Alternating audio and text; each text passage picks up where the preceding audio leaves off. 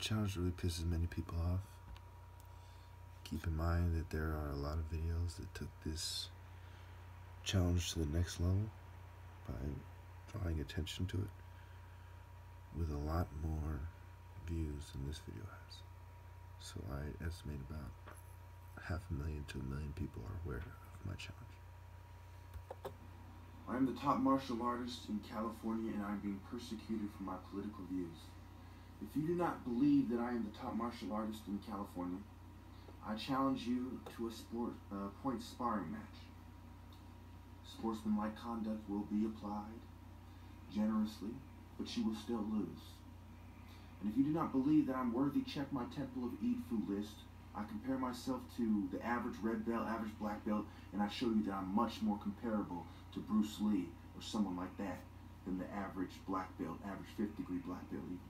I can beat uh, Brent Foster, Brett Foster, whatever his name is, easily. I guarantee it.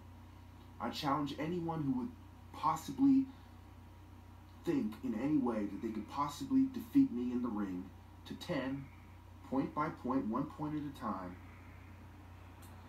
full sparring gear. Nobody can, I guarantee you. Like, nobody.